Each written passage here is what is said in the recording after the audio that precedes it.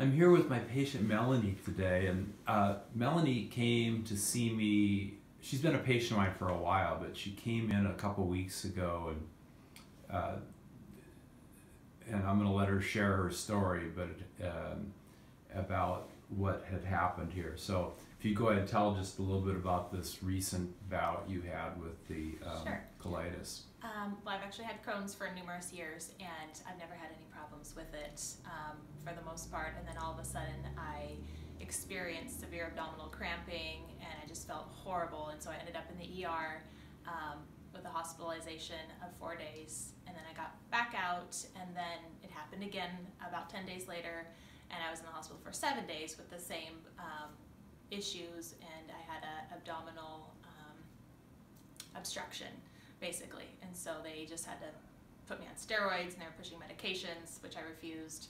And I just knew that I had to come see Dr. Bentz. And how's that? How uh, how are you doing now?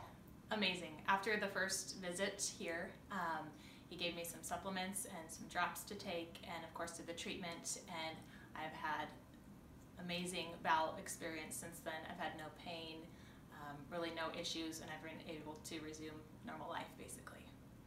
That's wonderful. And you've been a patient of mine for a long time. And so, what's been your experience overall with uh, NIS work? Just love it. I feel amazing after I leave. Even after the first time after I got out of the hospital, the next day I came back, I had so much energy.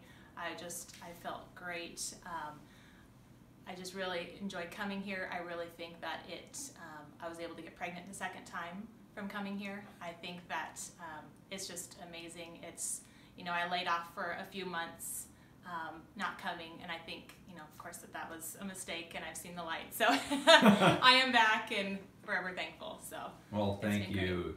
This has been a joy to work with you, and you know, you know, just see your kids being being born, and uh, not that I was there, but they love to Uh, come too. They love but- to watch. but uh, just seeing uh, how how your health has improved over the years. So thanks for sharing Yeah. your story with us. Really appreciate it. yeah, thank you.